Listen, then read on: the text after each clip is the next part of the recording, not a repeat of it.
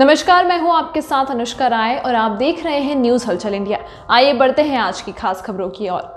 देश के प्रधानमंत्री नरेंद्र मोदी एवं प्रदेश के मुखिया शिवराज सिंह चौहान स्वयं स्वच्छता अभियान के माध्यम से गंदगी मिटाने में दिन रात प्रयासरत हैं। वहीं दूसरी ओर ग्राम पंचायत घोसला के अंतर्गत आने वाली घोसला चौपाटी पर सफ़ाई व्यवस्था पिछले काफ़ी समय से पटरी से उतर चुकी है, जिसके चलते जगह जगह गंदगी स्वच्छता अभियान का मखौल उड़ा रही है।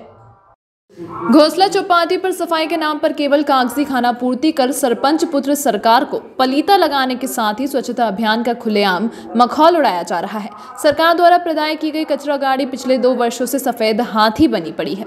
गौरतलब रहे कि विगत एक वर्ष पूर्व घोसला पंचायत में बढ़ती जा रही अनियमितताओं का खुलासा होने के डर से पंचायत भवन में रहस्यमयी आगजनी की घटना को अंजाम दिया जा चुका है, जिसकी जाँच को अधिकारी घोलकर पी गए हैं। चौपाटी पर हुए अवैध अतिक्रमण को लेकर काफ़ी शिकायतों के बावजूद भी अधिकारियों द्वारा अतिक्रमण नहीं हटाया गया। न ही इस और कोई ध्यान दिया जा रहा है, जिसके चलते सरपंच पुत्र के हौसले काफ़ी बुलंद हो चुके हैं, जबकि सरपंच के कार्यों में किसी अन्य व्यक्ति का हस्तक्षेप प्रतिबंधित है। बावजूद इसके, सरपंच पुत्र को संबंधित अधिकारी अभय दान दिए बैठे हुए हैं।